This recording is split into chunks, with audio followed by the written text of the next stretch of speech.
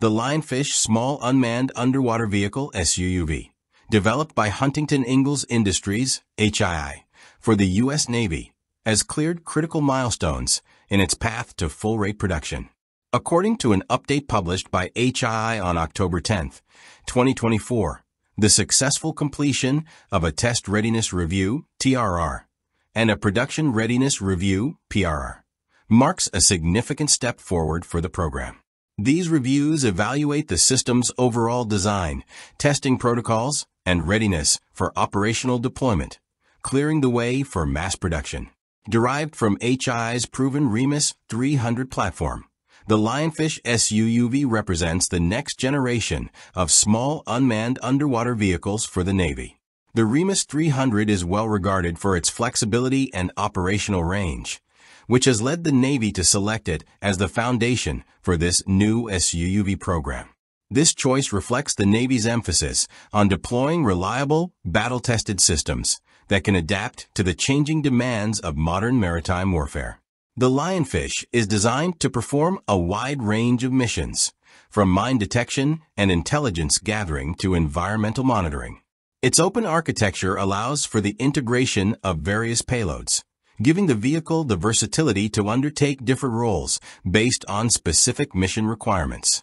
This adaptability is critical as naval operations demand multifunctional tools capable of transitioning seamlessly between tasks in diverse operational theaters. One of the standout features of the Lionfish SUUV is its modular design.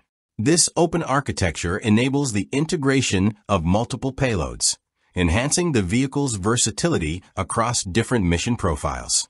Whether tasked with mine detection, intelligence, surveillance, reconnaissance, ISR missions, or oceanographic data collection, the Lionfish can be equipped to meet the demands of each unique situation.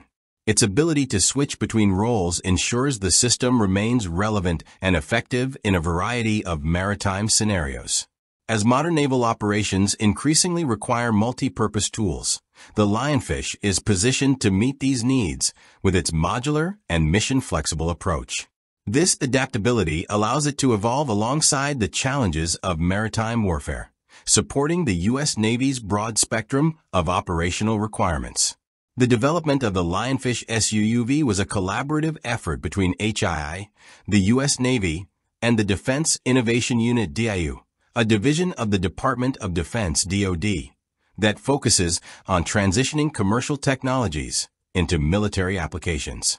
Throughout the development process, this partnership ensured that the Lionfish's design would meet the specific operational needs of the Navy, incorporating user feedback to fine-tune its capabilities.